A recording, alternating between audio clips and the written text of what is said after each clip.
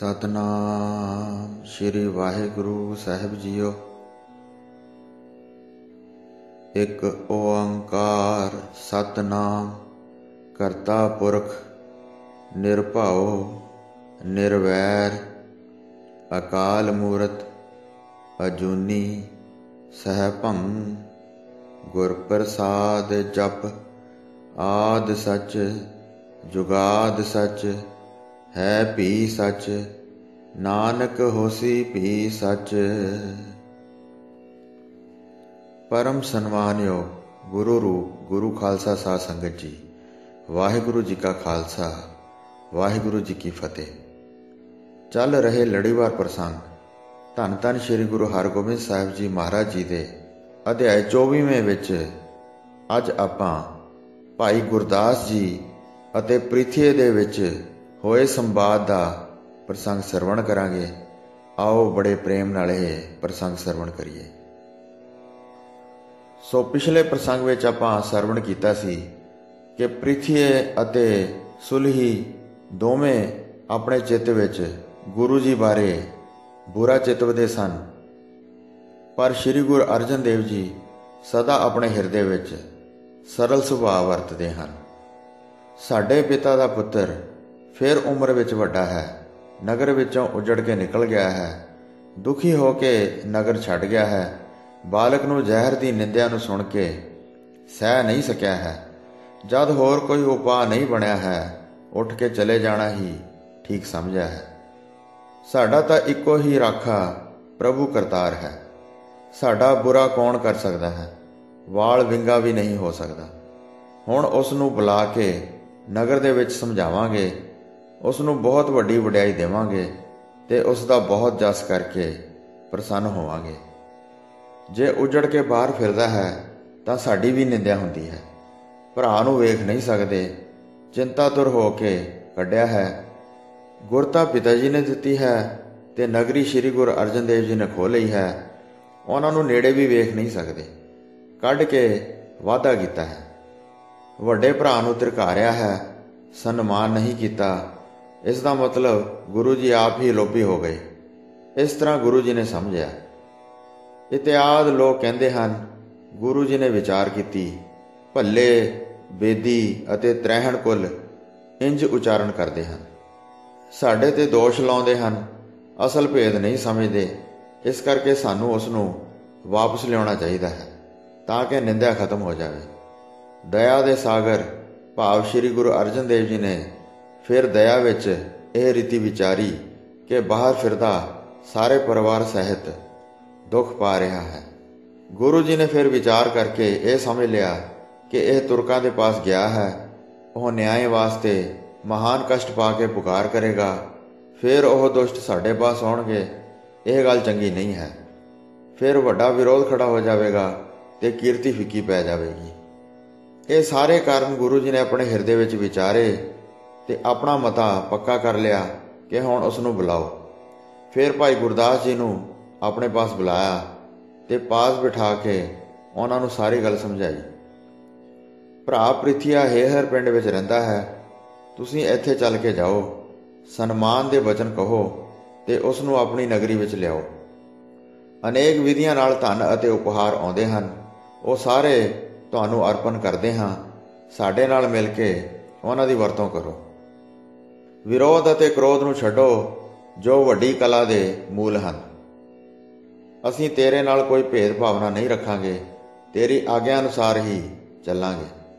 ਨਿਸ਼ਕਪਟ ਹੋ ਕੇ ਸਭ ਦੇ ਮਾਲਕ ਬਣ ਕੇ ਚੱਲੋ, ਸਾਰਿਆਂ ਦਾ ਭਲਾ ਚਾਹੋ ਤੇ ਪ੍ਰਸੰਨ ਚਿਤ ਹੋ ਕੇ ਸੁਖੀ ਸੁਖੀ ਰਹੋ। ਵੱਡੇ ਸਥਾਨ ਤੇ ਹੁਣ ਹੋ ਜਾਓ ਤੇ ਹਿਰਦੇ ਵਿੱਚ ਸਰਲ ਸੁਭਾਅ ਧਾਰਨ ਕਰੋ। ਛੋਟਿਆਂ ਦੇ ਔਗਣਾਂ ਨੂੰ ਛੱਡੋ ਅਤੇ ਸਭ ਦੀ ਰੱਖਿਆ ਕਰੋ। ਅਸੀਂ ਸਾਰੇ ਜਿੰਨੇ ਵੀ ਹਾਂ, ਤੁਹਾਡੀ ਆਗਿਆ ਵਿੱਚ ਚੱਲਾਂਗੇ। ਪਰਿਵਾਰ ਵਿੱਚ ਕੱਲਿਆ ਚੰਗੀ ਨਹੀਂ ਹੁੰਦੀ ਇਸ ਨੂੰ ਹੁਣ ਚਿੱਤ ਵਿੱਚ ਨਾ ਲਿਆਓ। ਪਰਿਵਾਰ ਵਿੱਚ ਕਲੇਸ਼ ਚੰਗਾ ਨਹੀਂ ਹੁੰਦਾ ਇਸ ਨੂੰ ਚਿੱਤ ਵਿੱਚ ਨਾ ਲਿਆਓ। ਹਾਰਨ ਨਾਲ ਸੁੱਖ ਹੁੰਦਾ ਹੈ, ਜਿੱਤਣ ਨਾਲ ਦੁੱਖ ਹੁੰਦਾ ਹੈ। ਜੇ ਸਾਰਿਆਂ ਵਿੱਚ ਨਿੰਦਿਆ ਪਸਰੇ, ਤਾਂ ਉਹ ਜੀਵਨ ਤਿਰਕਾਰਨ ਯੋਗ ਹੈ।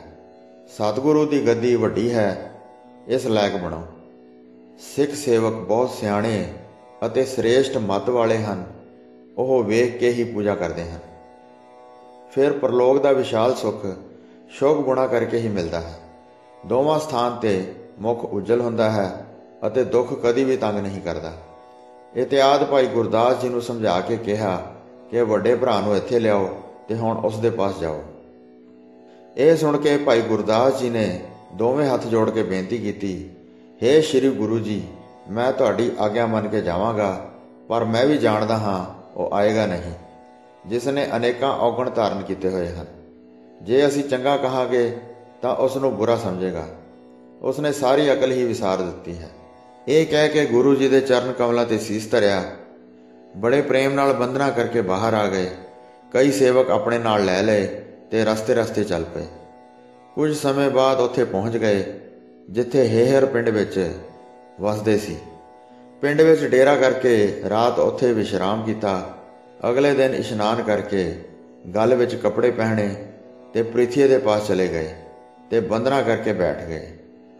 ਫਿਰ ਜੋ ਕੁਝ ਵੀ ਗੁਰੂ ਜੀ ਨੇ ਕਿਹਾ ਸੀ, ਉਸ ਸਾਰੀ ਬੇਨਤੀ ਨੂੰ ਬਿਆਨ ਕਰ ਦਿੱਤਾ। ਸਤਿਗੁਰੂ ਰਾਮਦਾਸ ਜੀ ਦਾ ਸ਼ੁਭ ਗੁਣਾ ਵਾਲਾ ਸ਼ੁਭ ਘਰ ਹੈ। ਜਗਤ ਦੇ ਲੋਕ ਜਿਸ ਨੂੰ ਰਾਮ ਦੇ ਬਰਾਬਰ ਮਹਾਨ ਮੰਨਦੇ ਹਨ, ਉਹਨਾਂ ਦੇ ਤੁਸੀਂ ਜੇਠੇ ਪੁੱਤਰ ਅਤੇ ਤੁਹਾਡੀ ਉਜਲ ਕੁਲ ਹੈ। ਸ੍ਰੀ ਗੁਰੂ ਨਾਨਕ ਦੇਵ ਜੀ ਦੀ ਗੱਦੀ ਵਰਗੀ ਹੋਰ ਕੋਈ ਦੂਜੀ ਨਹੀਂ ਵੇਖੀ ਹੈ। ਮਹਾਪੁਰਖ ਸਤਿਗੁਰੂ ਅਮਰਦਾਸ ਜੀ ਪੂਰਨ ਕਰਾਮਾਤ ਵਾਲੇ ਸਨ। ਉਹਨਾਂ ਦੇ ਬਰਾਬਰ ਹੋਰ ਕੋਈ ਸੁੰਦਰ ਗੁਣਾ ਵਾਲਾ ਗਿਆਨੀ ਨਹੀਂ ਹੈ। ਉਹ ਤੁਹਾਡੇ ਮਾਤਾ ਜੀ ਦੇ ਪਿਤਾ ਹਨ, ਜਿਨ੍ਹਾਂ ਨੇ ਗੁਰਤਾ ਦਿੱਤੀ, ਨਾਨਕੇ, ਦਾਦਕੇ ਦੋਵੇਂ ਕੁੱਲਾਂ ਜੱਗ ਵਿੱਚ ਉਜਲ ਜਾਣੀਆਂ। ਉਹਨਾਂ ਦਾ ਇੱਕ ਕੰਮ ਉਚਿਤ ਹੈ ਕਿ ਤੁਹਾਡਾ ਉਹ ਚੰਗਾ ਚਾਹੁੰਦੇ ਹਨ। ਜਿਸ ਗੱਲ ਦੀ ਜਗਤ ਸਰਾਹਣਾ ਕਰੇ, ਉਹੀ ਕੰਮ ਕਰਨਾ ਚੰਗਾ ਹੈ। ਤੁਸੀਂ ਸੋਢੀ ਬੰਸ ਵਿੱਚ ਜਨਮ ਲਿਆ ਹੈ। ਵੱਡੀਆਂ ਬਾਹਾਂ ਵਾਲੇ, ਵੱਡੇ ਖੱਤਰੀ ਸੂਰਮੇ ਹੋ। ਤੁਰਕਾਂ ਅੱਗੇ ਬੇਨਤੀ ਕਰਨ ਲਈ ਉਤਸ਼ਾਹਿਤ ਹੋਏ ਹੋ। ਇਸ ਕਰਕੇ ਸ੍ਰੀ ਗੁਰੂ ਅਰਜਨ ਦੇਵ ਜੀ ਨੇ ਬਹੁਤ ਸਨਮਾਨ ਨਾਲ ਆਪ ਜੀ ਨੂੰ ਬੁਲਾਇਆ ਹੈ ਕਿ ਆ ਕੇ ਆਪਣੇ ਨਿੱਜੀ ਸਥਾਨ ਤੇ ਵਸੋ। ਗੁਰੂ ਜੀ ਦੀ ਕਹੀ ਹੋਈ ਸਾਰੀ ਗੱਲ ਭਾਈ ਗੁਰਦਾਸ ਜੀ ਨੇ ਸੁਣਾਈ। ਜਿਹੜੀ ਬੀਤ ਗਈ ਹੈ ਉਸ ਨੂੰ ਜਾਣ ਦਿਓ, ਅੱਗੇ ਲਈ ਆਪੋ ਵਿੱਚ ਸੁਲਾ ਸਫ਼ਾਈ ਰੱਖੋ। ਸਾਰੇ ਆਪਣੇ ਘਰ ਵਿੱਚ ਮਿਲੋ ਅਤੇ ਮੇਲ ਮਿਲਾਪ ਕਰ ਲਓ, ਕਿਉਂਕਿ ਇਕੱਲੇ ਤੇ ਫਿਰ ਬਹੁਤ ਵਿਪਤਾ ਆ ਪੈਂਦੀ ਹੈ ਤੇ ਇਕੱਲਾ ਫਿਰ ਮਾਰਿਆ ਜਾਂਦਾ ਹੈ। ਸਾਰਾ ਧਨ ਦੌਲਤ ਤੁਸੀਂ ਲੈ ਲਵੋ ਤੇ ਤੁਸੀਂ ਮਾਲਕ ਬਣ ਜਾਓ। ਸਭ ਕੁਝ ਆਪਣੇ ਹੱਥਾਂ ਨਾਲ ਦਿਓ, ਅਸੀਂ ਨੀਵੇਂ ਹੋ ਕੇ ਖੜੇ ਰਹਾਂਗੇ। ਜਦ ਭਾਈ ਗੁਰਦਾਸ ਜੀ ਨੇ ਕਹਿ ਕੇ ਸਾਰੀ ਗੱਲ ਸਮਝਾਈ, ਤਾਂ ਪ੍ਰਿਥਿਆ ਹੋਰ ਕ੍ਰੋਧ ਵਿੱਚ ਆ ਗਿਆ ਤੇ ਉਸਨੇ ਦੋਵੇਂ ਭਾਵਾਂ ਉੱਪਰ ਚੜਾ ਲਈਆਂ। ਲਾਲ ਅੱਖਾਂ ਵਿਖਾ ਰਿਹਾ ਸੀ ਤੇ ਹੋਂਠ ਫ਼ਰਕ ਰਹੇ ਸਨ। ਕ੍ਰੋਧ ਵਿੱਚ ਭਰਿਆ ਹੋਣ ਕਰਕੇ ਬੋਲਿਆ ਨਹੀਂ ਸੀ ਜਾਂਦਾ ਤੇ ਬਹੁਤ ਸਾਹ ਚੜਿਆ ਹੋਇਆ ਸੀ। ਬੜੀ ਕਠੋਰ ਬੋਲੀ ਵਿੱਚ ਗਾਲਾਂ ਕੱਢਣ ਲੱਗਾ, ਪਹਿਲਾਂ ਵੱਡਾ ਕਪਟ ਕਰਕੇ ਮੇਰਾ ਅਪਮਾਨ ਕੀਤਾ ਹੈ, ਮੇਰੇ ਉੱਤੇ ਝੂਠੀ ਤੌਮਤ ਲਾ ਕੇ ਮੇਰੀ ਨਿੰਦਿਆ ਸਾਰੇ ਪ੍ਰਗਟ ਕੀਤੀ ਹੈ ਅਤੇ ਸਾਰੇ ਲੋਕਾਂ ਪਾਸੋਂ ਬਹੁਤ ਗਾਲਾਂ ਦਿਵਾਈਆਂ ਹਨ। ਹੁਣ ਮਨਾਉਣ ਵਾਸਤੇ ਤੁਹਾਨੂੰ ਭੇਜਿਆ ਹੈ, ਇੱਕ ਹੋਰ ਛਲ ਰਚਿਆ ਹੈ। ਪਹਿਲਾਂ ਬੜਾ ਉਤਸ਼ਾਹ ਵਧਾ ਕੇ ਨਗਰ ਵਿੱਚੋਂ ਕੱਢਿਆ ਹੈ, ਹੁਣ ਤੱਕ ਤੁਹਾਨੂੰ ਤਤੀ ਹਵਾ ਨਹੀਂ ਲੱਗੀ ਹੈ। ਬੜੇ ਘੁਮੰਡ ਵਿੱਚ ਠੰਡੀ ਛਾਤੀ ਕਰਕੇ ਘਰ ਵਿੱਚ ਬੈਠੇ ਹੋ। ਪ੍ਰੀਥੀਆ ਦਾ ਅਨਾਦਰ ਇੱਕ ਪ੍ਰਕਾਰ ਦੀ ਇਹ ਪ੍ਰithvi ਹੈ ਅਤੇ ਸੁਲਹੀ ਦਾ ਮੈਨੂੰ ਮਿਲਣਾ ਇੱਕ ਪ੍ਰਕਾਰ ਦਾ ਬੀਜ ਹੈ, ਜੋ ਤਲਾਬ ਬਣਾ ਕੇ ਮੇਰਾ ਪ੍ਰਤਾਪ ਵਧਿਆ ਹੈ। ਉਹ ਇੱਕ ਪ੍ਰਕਾਰ ਉਸ ਬੀਜ ਨੂੰ ਸਿੰਜਿਆ ਹੈ, ਭਾਵ ਪਾਣੀ ਦਿੱਤਾ ਹੈ। ਦਿੱਲੀ ਨੂੰ ਜਦ ਮੈਂ ਜਾਵਾਂਗਾ, ਤਾਂ ਉਹ ਬੀਜ ਓਕੇ ਦਰਖਤ ਬਣ ਜਾਵੇਗਾ। ਜਦ ਮੈਂ ਜਾ ਕੇ ਜਹਾਂਗੀਰ ਨੂੰ ਮਿਲਾਂਗਾ, ਤਾਂ ਇਹ ਬ੍ਰਿਛ ਵੱਧ ਕੇ ਬਹੁਤ ਉੱਚਾ ਹੋ ਜਾਵੇਗਾ। ਜਦ ਮੈਂ ਜਹਾਂਗੀਰ ਪਾਸ ਜਾ ਕੇ ਫਰਿਆਦ ਕਰਾਂਗਾ, ਤਾਂ ਇਹ ਦਰਖਤ ਕੁਸਮ ਦੇ ਫੁੱਲਾਂ ਨਾਲ ਖਿੜ ਪਵੇਗਾ। ਇਹ ਬ੍ਰਿਛ ਫਿਰ ਬੜਾ ਸੁਗੰਧਿਤ ਹੋ ਜਾਵੇਗਾ। ਜਦ ਸ਼ਾਹ ਗੁੱਸੇ ਵਿੱਚ ਆ ਕੇ ਮੇਰਾ ਪੱਖ ਪੂਰੇਗਾ। ਜਦ ਸ੍ਰੀ ਗੁਰੂ ਅਰਜਨ ਦੇਵ ਜੀ ਨੂੰ ਫੜ ਕੇ ਮੰਗਵਾ ਲਵੇਗਾ, ਤਾਂ ਫਿਰ ਇਸ ਬ੍ਰਿਛ ਨੂੰ ਭਾਰੀ ਫਲ ਲੱਗੇਗਾ। ਜਦ ਮੈਂ ਗੁਰਤਾ ਪ੍ਰਾਪਤ ਕਰ ਲਵਾਂਗਾ, ਤੇ ਇਹ ਸੁੰਦਰ ਫਲ ਪੱਕ ਜਾਣਗੇ। ਚਾਰੇ ਪਾਸਿਆਂ ਦੀ ਸੰਗਤ ਫਿਰ ਆ ਕੇ ਮੈਨੂੰ ਧਨ ਭੇਟ ਕਰੇਗੀ। ਸਾਰੇ ਜਗਤ ਵਿੱਚ ਮੇਰਾ ਜਸ ਫੈਲ ਜਾਵੇਗਾ ਅਤੇ ਮੇਰੀ ਵੱਡੀ ਵਡਿਆਈ ਹੋਵੇਗੀ। ਇਸ ਫਲ ਨੂੰ ਪ੍ਰਾਪਤ ਕਰਨ ਵਾਸਤੇ ਮੈਂ ਉਪਾਅ ਕਰ ਰਿਹਾ ਹਾਂ। ਜਦ ਤੁਸੀਂ ਆਪਣੇ ਹਿਰਦੇ ਵਿੱਚ ਜਾਣੋਗੇ ਤਦ ਮੈਂ ਇਹ ਸਭ ਕੁਝ ਕਰ ਲਵਾਂਗਾ। ਹੁਣ ਤੋਂ ਹੀ ਡਰਨ ਲੱਗੇ ਹਨ। ਹਾਲੇ ਤਾਂ ਬਾਦਸ਼ਾਹ ਨੂੰ ਮਿਲਿਆ ਵੀ ਨਹੀਂ ਹਾਂ। ਉਹ ਚਾਹੁੰਦੇ ਹਨ ਕਿ ਇਹ ਗੱਲ ਮੁੱਕ ਜਾਵੇ ਤੇ ਮੈਂ ਗੁਰੂ ਬਣਿਆ ਰਹਾ। ਇਸ ਕਰਕੇ ਤੁਹਾਨੂੰ ਮੇਰੇ ਪਾਸ ਭੇਜਿਆ ਹੈ। ਇਸ ਤਰ੍ਹਾਂ ਕੁਝ ਨਹੀਂ ਲੈ ਸਕੋਗੇ। ਜੋ ਤੁਸੀਂ ਛਲ ਧਾਰਨ ਕੀਤਾ ਹੋਇਆ ਹੈ, ਜਦ ਵੱਡਾ ਦੁੱਖ ਭੋਗੋਗੇ, ਤਾਂ ਮੈਂ ਸੁਖ ਮੰਨਾਂਗਾ। ਜੇ ਤੁਹਾਨੂੰ ਦੁੱਖ ਦਿੱਤੇ ਬਗੈਰ ਮੈਂ ਜਗਤ ਦਾ ਰਾਜ ਪ੍ਰਾਪਤ ਕਰ ਲਵਾਂ ਤਾਂ ਮੈਨੂੰ ਕੋਈ ਵੀ ਪ੍ਰਸੰਨਤਾ ਨਹੀਂ ਹੋਵੇਗੀ। ਇਸ ਕਰਕੇ ਉਹ ਕਿਸੇ ਕੰਮ ਨਹੀਂ। ਭਾਵੇਂ ਕਰੋੜਾਂ ਵੀ ਯਤਨ ਕਰੋਗੇ, ਤਾਂ ਇਹ ਦੁੱਖ ਨਹੀਂ ਖਤਮ ਹੋਵੇਗਾ। ਮੈਂ ਸ੍ਰੀ ਗੁਰੂ ਅਰਜਨ ਦੇਵ ਜੀ ਨੂੰ ਦੁੱਖ ਦੇ ਕੇ ਗੁਰਤਾ ਪ੍ਰਾਪਤ ਕਰਾਂਗਾ। ਇਹ ਸੁਣ ਕੇ ਭਾਈ ਗੁਰਦਾਸ ਜੀ ਨੇ ਹੱਥ ਜੋੜ ਕੇ ਕਿਹਾ, ਤੁਸੀਂ ਸ੍ਰੀ ਗੁਰੂ ਰਾਮਦਾਸ ਜੀ ਦੇ ਬੁੱਧੀਵਾਨ ਪੁੱਤਰ ਹੋ। ਹੁਣ ਤਿੰਨੇ ਭਰਾ ਮਿਲ ਕੇ ਸੁਖ ਲਵੋ। ਕਿਸੇ ਪ੍ਰਕਾਰ ਦੇ ਪਦਾਰਥ ਦੀ ਘਾਟ ਨਹੀਂ ਹੈ। ਰਲ ਮਿਲ ਕੇ ਖਾਓ। ਤਿੰਨਾਂ ਵਿੱਚੋਂ ਕਿਸੇ ਨੂੰ ਵੀ ਕਸ਼ਟ ਹੋਵੇ, ਤਾਂ ਸਾਰੇ ਦੁਖੀ ਹੁੰਦੇ ਹਨ। ਤੁਹਾਡੇ ਵਿੱਚ ਫਿਰ ਭਰਾ ਹੋਣ ਦਾ ਮੋਹ ਪ੍ਰਗਟ ਹੋਵੇਗਾ। ਜਿਵੇਂ ਕਿਵੇਂ ਵੀ ਹੋਵੇ, ਪਿਛਲੇ ਗੁੱਸੇ ਨੂੰ ਹੁਣ ਜਾਣ ਦਿਓ। ਕੌਣ ਜਾਣਦਾ ਹੈ ਕਿਸ ਨੇ ਬੁਰਾ ਕੀਤਾ ਹੈ। ਸਭ ਕੁਝ ਹੁਣ ਭੁੱਲ ਜਾਓ। ਸਾਫ਼ ਦਿਲ ਨਾਲ ਹੁਣ ਆਪਣੇ ਨਗਰ ਵਿੱਚ ਚੱਲ ਕੇ ਵਸੋ। ਸੰਗਤਾਂ ਨੂੰ ਮਿਲ ਕੇ ਦਰਸ਼ਨ ਦੇ ਕੇ ਭਟਾਵਾਂ ਲਵੋ। ਸ੍ਰੀ ਗੁਰੂ ਅਰਜਨ ਦੇਵ ਜੀ ਸਦਾ ਹੀ ਸਨਿਮਰ ਹਨ ਅਤੇ ਛਲ ਝੂਠ ਤੋਂ ਰਹਿਤ ਹਨ। ਦਇਆ, ਖੇਮਾ ਸਮੇਤ ਗਿਆਨ ਦੇ ਭੰਡਾਰ ਹਨ ਅਤੇ ਸਾਰੇ ਗੁਣਾਂ ਵਿੱਚ ਚਤੁਰ ਹਨ। ਸ੍ਰੀ ਗੁਰੂ ਅਰਜਨ ਦੇਵ ਜੀ ਦਾ ਜਸ ਸੁਣ ਕੇ ਪ੍ਰਿਥਿਆ ਸੜ ਗਿਆ ਤੇ ਬੜੀ ਉੱਚੀ ਦਿੱਤੀ ਬੋਲਿਆ, ਚਲੇ ਜਾਓ। ਬੋਲੋ ਨਹੀਂ, ਮੈਂ ਤੁਹਾਡਾ ਆਦਰ ਰੱਖਿਆ ਹੈ, ਵਰਨਾ ਐਸੀ ਕਰਵਾਵਾਂਗਾ। ਸੜਦੇ ਨੂੰ ਹੋਰ ਸੜਦੇ ਹੋ। ਸ੍ਰੀ ਗੁਰੂ ਅਰਜਨ ਦੇਵ ਜੀ ਤਾਂ ਖੋਟ ਨਾਲ ਭਰੇ ਹਨ। ਉਹਨਾਂ ਨੂੰ ਸ਼ੁਭ ਤੇ ਸੁਸ਼ੀਲ ਕਹਿੰਦੇ ਹੋ। ਉਹ ਮੇਰੇ ਵੱਡੇ ਦੁਸ਼ਮਣ ਬਣੇ ਹਨ। ਉਹਨਾਂ ਨੂੰ ਪੁੱਤਰ ਸਮੇਤ ਮਾਰਾਂਗਾ। ਗੁਰਤਾ ਪ੍ਰਾਪਤ ਕਰਕੇ ਫਿਰ ਮੈਂ ਪ੍ਰਸੰਨ ਹੋਵਾਂਗਾ। ਤੁਹਾਡੇ ਕਹਿਣ ਨਾਲ ਕੀ ਹੁੰਦਾ ਹੈ? ਜਿਸ ਤਰ੍ਹਾਂ ਦੇ ਉਹ ਹਨ, ਮੈਂ ਜਾਣਦਾ ਹਾਂ। ਰਾਤ ਦਿਨ ਮੈਨੂੰ ਚਿੰਤਾ ਲੱਗੀ ਰਹਿੰਦੀ ਹੈ। ਗੁਰੂ ਅਰਜਨ ਦੇਵ ਜੀ ਨੂੰ ਮਾਰ ਕੇ ਹੀ ਸੁਖ ਪਾਵਾਂਗਾ। ਫਿਰ ਭਾਈ ਗੁਰਦਾਸ ਜੀ ਨੇ ਕ੍ਰੋਧ ਵਿੱਚ ਆ ਕੇ ਕਿਹਾ, ਸ੍ਰੀ ਗੁਰੂ ਅਰਜਨ ਦੇਵ ਜੀ, ਜਗਤ ਵਿੱਚ ਸੂਰਜ ਸਮਾਨ ਹਨ। ਉੱਲੂ ਰੂ ਮੂਰਖਾਂ ਨੇ ਉਹਨਾਂ ਨੂੰ ਜਾਣਿਆ ਨਹੀਂ ਹੈ।